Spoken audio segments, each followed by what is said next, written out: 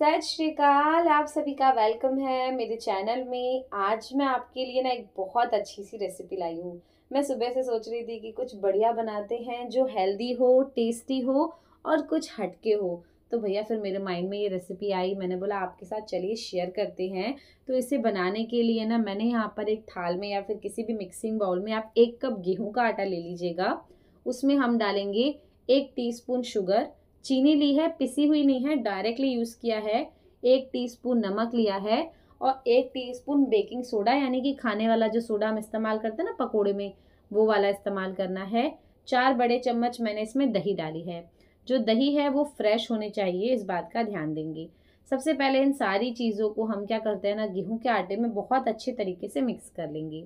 उसके बाद हम इसमें थोड़ा थोड़ा करके ग्रेजुअली पानी डालेंगे और एक सेमी सॉफ्ट सा आटा लगाकर तैयार कर लेंगे।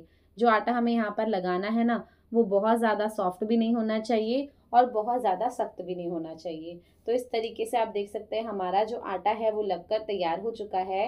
लास्ट में आपको एक स्टेप इसमें ज़रूर करना है, क्योंकि आज की रेसिपी ने हमें एक लचक चाहिए। तो उसके लिए हम क्या करेंगे ना, जब आटा हमारा पूरा गूंथ के तैयार हो जाएगा ना, फिर हम इसमें डालेंगे एक टीस्पून ऑयल एक टीस्पून ऑयल डालकर आप फिर से इसे एक से दो मिनट तक गूंथिएगा।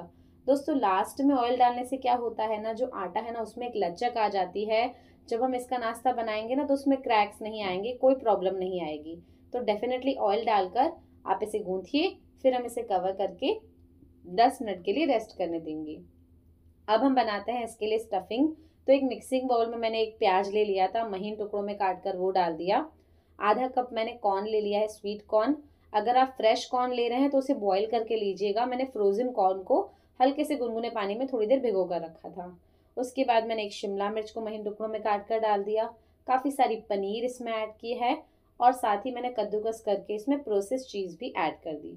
स्पाइसेस के लिए मैंने इसमें डाला है पिज़्ज़ा ऑरिगेनो साथ ही पेरी पेरी मसाला मेरा रेड चिली फ्लेक्स ख़त्म हो गया था तो मैंने पेरी पेरी मसाला यूज़ कर लिया। उसके साथ ही हम इसमें डालेंगे एक से डेढ़ बड़ा चम्मच सीजवान चटनी या फिर आप यहाँ पर पिज़्ज़ा पास्ता सॉस का भी यूज़ कर सकते हैं। अगर नहीं है कुछ भी तो एक बड़ा चम्मच आप टमाटो केचप का भी इस्तेमाल कर सकते हैं। जो स्पाइसी वाला होता है ना, वो ऐड कीजिएगा।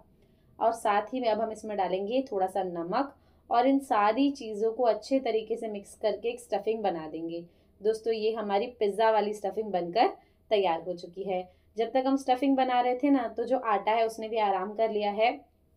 अब हम यहाँ पर एक बार फिर से इसे हाथों से सेट कर लेते हैं और नींबू के आकार की इसकी लोई तोड़ लेंगे। नींबू के आकार से थोड़ी सी बड़ी हम यहाँ पर लोई तोड़ लेंगे और अब चलिए हम इसकी रोटी बना लेते हैं। तो दोस्तों, आज रोटी नहीं बनाएँगे, कुछ यूनिक बनाने वाले हैं, आप देखते जाइए। यहाँ पर मैंने इसको थोड़ा सा सूखे आटे से डस्ट कर लिया और जितना पॉसिबल होगा, हम अच्छे तरीके से इसे बेल लेंगे। हद से ज़्यादा पतला ऐसे नहीं करना है। जैसे हम रोटी को रखते हैं ना, बिल्कुल वैसा ही रखिए थोड़ा सा उससे थिक रहने देंगे हम यहाँ पर। हद से ज़्यादा पतला करेंगे तो फिर यहाँ पर ये टूट सकता है। उसके साथ ही दोस्तों, इसे बेलते वक्त मैंने थोड़ा सा इसके ऊपर हरा धनिया लगा दिया है। अब हरा धनिया लगाना आपकी मर्ज़ी है।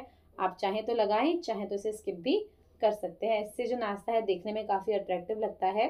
तो आपकी मर्ज़ी है। हरा धनिया लगाने के बाद मैंने थोड़ा सा इसे प्रेस कर लिया और अब हम इसको बैक साइड पे कर लेते हैं। इस स्टेज पर हम इसके अंदर वो स्टफिंग रखेंगे जो हमने बनाकर रेडी की है। तो ये देखिए सारी स्टफिंग हम इसके अंदर डालेंगे दो से तीन बड़े चम्मच के करीब। बहुत ज़्यादा ओवर फिल नहीं करना है इस बात का ध्यान देना। दो तीन बड़े चम्मच डालेंगे और बिल्कुल सेंटर में ही डालेंगे। फिर जैसे हम पराठों को कैसे रैप करते हैं ना बिल्कुल वैसे ही यहाँ पर आपको इसको रैप करना है और जो एक्स्ट्रा पार्ट होगा हम उसको बाहर निकाल देंगे। मेक श्योर sure, कोशिश कीजिएगा कि जितना भी एक्स्ट्रा जो है ना गेहूँ का आटा होगा हम उसको बाहर निकालने की कोशिश करेंगे। अगर आपको लगता है कि पूरा बंध गया है तो ठीक है, कोई बात नहीं। अगर नहीं तो आप इसे बाहर निकाल दीजिए। बस इस तरीके से जो है ना, हमारे जो ये बॉल्स हैं पिज़्ज़ा बॉल्स ये बनकर तैयार हो चुके हैं। मैंने यहाँ पर सारे इसी तरीके से कर कर रेडी कर दिए हैं। और आप यहाँ पर देख सकते हैं कितने सुंदर लग रहे हैं दोस्तों। जितना पतला होगा ना, उतना ही पतला बेलना है। और बाद में जब हम रैप करेंगे तो जितना एक्स्ट्रा मसाला पॉसिबल होगा, वो हम ज़रूर बाहर निकालेंगे। अब यहाँ पर ये देखिए कितने सुंदर तरीके से ये रैप हो चुका है। अब हम चलते हैं इसे बनाने के लिए। तो इसे बनाने के लिए हमने यहाँ पर तवा गरम कर लिया है। तवा जब अच्छा गर्म हो जाएगा ना, तब हम गैस का फ्लेम लो कर देंगे। और ये जो नाश्ता हमने बनाया ना, इसके बैक साइड पे हम लगाएँगे पानी। आप हाथों से पानी लगा सकते हैं या थोड़ा सा पानी की ब्रशिंग कर लीजिए। बहुत ज़्यादा पानी नहीं लगाना। थोड़ा सा पानी लगाना है ताकि जैसे ही हम गर्म तवे पर इसे डालें, ये चिपक जाए। बस ये सबसे ज़्यादा ज़रूरी है। अब सभी बॉल्स को हम इसी तरीके से करेंगे थोड़ा थोड़ा पानी लगाएँगे और थोड़ी थोड़ी दूरी पर हम इसे चिपका देंगे। कोशिश कीजिएगा थोड़ी सी दूरी पर चिपकाइएगा। मैंने यहाँ पर एक नाश्ते को जैसे ही रखा तो थोड़ा नज़दीक चिपक गया। फिर हम उसे बाद में बाहर नहीं निकाल सकते थे तो इसलिए मैंने उसे छोड़ दिया। पर कोशिश यही करनी है, आपको थोड़ा थोड़ा स्पेस पे रखना है, बहुत ज़्यादा नहीं थोड़ी थोड़ी स्पेस पर रखेंगे। उससे क्या होगा, जब हम इसे सेकेंगे ना तो चारों साइड से एकदम परफेक्टली सेकेगा। अब बस यहाँ पर मैंने एक मिनट के लिए पहले इस तरीके से सेक लिया। अब हम तवे को करेंगे उल्टा और मीडियम टू हाई फ्लेम पर इस तरीके से पलटते हुए हम इस नाश्ते को सेकेंगे। दोस्तों लास्ट में क्या होगा ना, जो कॉर्नर्स है ना, वो हो सकता है आपको थोड़े कच्चे दिखे। आप देख रहे हैं सेंटर में से तो ये कुक हो जाएगा। बट जो कॉर्नर्स है ना, हो सकता है वो थोड़े थोड़े आपको कच्चे दिखे। तो आपको क्या करना है, तवे को थोड़ा सा बैंड करना है। जब आप तवे को बैंड करेंगे ना तो उसके कॉर्नर्स भी कुक हो जाएँगे। कहीं से भी कच्चा नहीं रहेगा बिल्कुल भी। फिर बस यहाँ पर गैस का फ्लेम बंद कर देंगे और एक से दो मिनट के लिए इसे ऐसे ही छोड़ देंगे ताकि हीट के अंदर ये और थोड़ा सा परफेक्टली कुक हो जाए। उसके बाद लास्ट में हम इसके ऊपर लगाएँगे थोड़ा सा मेल्टेड बटर जिससे ये नाश्ता और भी ज़्यादा टेस्टी हो जाएगा और ऊपर से ड्राई बिल्कुल भी नहीं लगेगा। अब ये देखिए, हम इस नाश्ते को गर्मा गर्म बाहर निकाल लेते हैं एंड आप इस नाश्ते को जब भी इंजॉय करेंगे ना तो आपका दिल खुश हो जाएगा, आपको बिल्कुल पिज़्ज़ा वाली फीलिंग आएगी। साथ ही आपने देखा इसे बनाना भी कितना आसान है, आपको कोई भी प्रॉब्लम नहीं आएगी। बस सेकते वक्त आपको अच्छे तरीके से रोटेट करते हुए चारों साइड से सेकना है, ताकि कहीं से भी ये बिल्कुल कच्चा ना लगे। अब मैं आपको यहाँ पर निकाल कर दिखा रही हूँ नाश्ते को। कि कितने परफेक्ट इस पर स्पॉट्स आए हैं, जो नीचे वाला हिस्सा है, वो भी पूरा बहुत अच्छे तरीके से कुक हुआ है। ये सभी नाश्ते को हम बाहर निकाल लेते हैं। और ये देखिए, कितना सुंदर लग रहा है देखने में। साथ ही ये देखने में जितना सुंदर लगता है ना, खाने में उतना ही ज़्यादा टेस्टी है। मैं लास्ट वाला आपको दिखाती हूँ, ये देखिए बैक साइड से भी कितना परफेक्टली कुक है।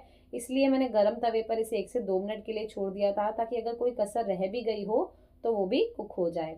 तो भैया हमारा नाश्ता कुक हो चुका है, फ़िलहाल काफ़ी गर्म है तो थोड़ा सा हमें यहाँ पर वेट करना होगा। मैं आपको सर्व करके दिखाती हूँ लास्ट में आपको इसकी लुकिंग भी दिखाती हूँ कि कितना सुंदर लग रहा है ये।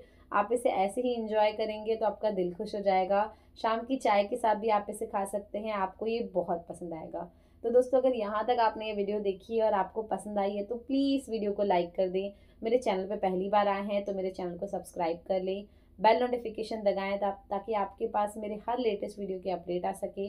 अब मैं आपके साथ मिलूँगी नेक्स्ट वीडियो में नेक्स्ट रेसिपी के साथ। तब तक के लिए बाय